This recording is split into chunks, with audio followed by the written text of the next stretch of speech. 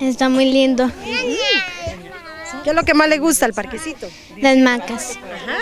¿Está ansiosa por jugar? Sí. Las hamacas están muy bonitas. ¿Y está ansiosa por jugar? ¿Sí? ¿Qué más le gusta el jueguito?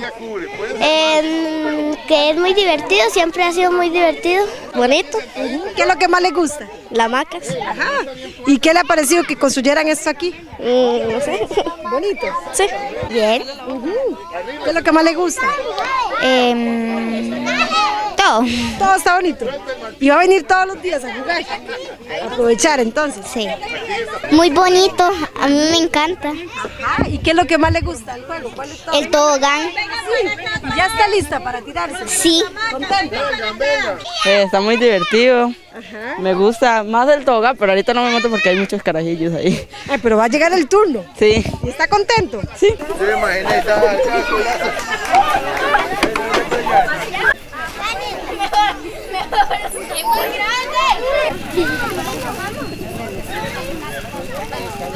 Sin duda, la felicidad de los niños de la comunidad de Tierra Prometida en Pérez Celedón es grande. La Asociación de Desarrollo de la localidad, en conjunto con la Municipalidad del Cantón y del Patronato Nacional de la Infancia, construyeron un parque infantil cerca de la cancha de fútbol. compañeros. Eh, sí, bueno, la gestión se inició principalmente con la municipalidad, vicealcaldía, en esta administración doña Magda Méndez y el Patronato Nacional de la Infancia. Eh, convocaron a varias comunidades que, eh, que tenían un poco ¿verdad? déficit en, en cuestión de infraestructura para, para niños. Entonces tomaron Tierra Prometida en cuenta, ¿verdad? ya que Tierra Prometida es una comunidad que se está desarrollando con el bono comunal y todo eso. Entonces pues se podría decir que calificamos perfectamente para lo que es un parque infantil. Para el Patronato Nacional de la Infancia es muy importante el estar realizando estos proyectos.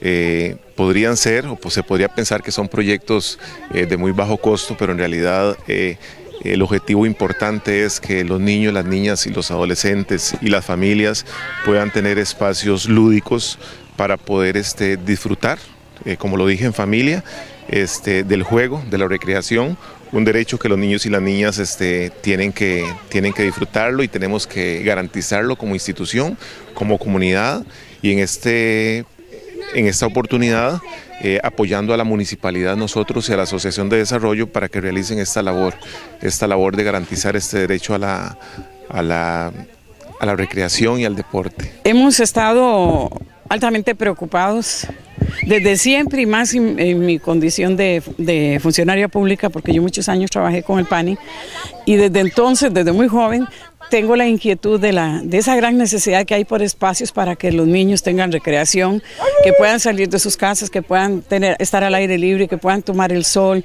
que hagan amistades, eh, convivios con otros niños, que socialmente se desempeñen en una forma más positiva.